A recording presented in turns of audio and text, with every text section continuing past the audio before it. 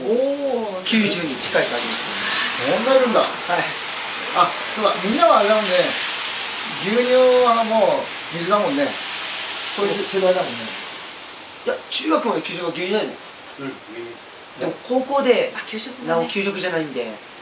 あはいはい。なんでだってうち帰ったらさ運動して帰ったら牛乳はいなんで1パックみんな飲むとかあそれはないですね。それないですか？うん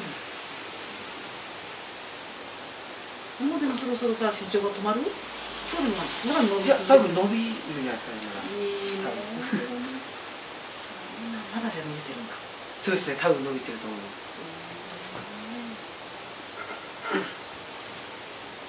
なんていうんだっけ？かなさえ二十歳の朝飯まで伸びるっていうのなんつうんだっ25の朝飯前け25回。昔はですね25っつった。朝飯前まで身長伸びるよって25枚ですか？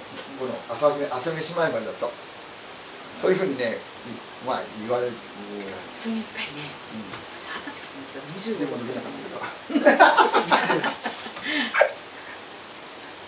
160 165で止まっちゃったけど。60まで止まっちゃった。だって今160ないよ。年取るとね身長縮むんだよ。縮むんだよね。嫌になっちゃうねね。いいね。70にあればいいね。いやーもっと欲しいですね。どれぐらい欲しい？最低本当75は絶対行きたいですよね。そうでもそうですよね。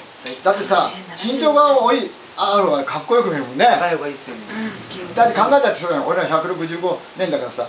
ねどっちかってかっこいいやっぱ見えるの。そうだよね。そしたらさみ見た目っていうかさう女の子だってさあかっこいいな。身長高いといいですよね。ねうんかっこいいと思うもんね。ちっちゃいそそそれだけで文句な文句なしよ。はい。